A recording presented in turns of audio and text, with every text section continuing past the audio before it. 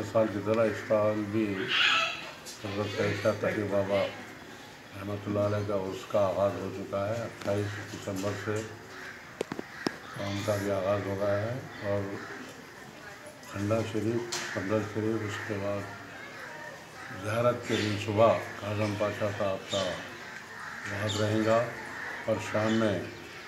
قوالوں کی محفل رہیں گی، جس میں مشہور قوال جے پور والے آ رہے ہیں اور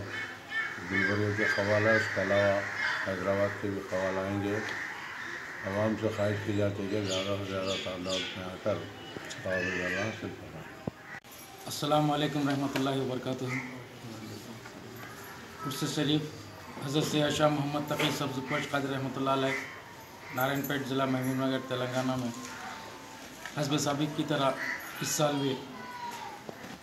مرس شریف تقی بابا رحمۃ اللہ علیہ کا منایا جا رہا ہے۔ اور اس کے انتظامات کا آغاز ہو چکا ہے۔ اٹھائیس دسمبر،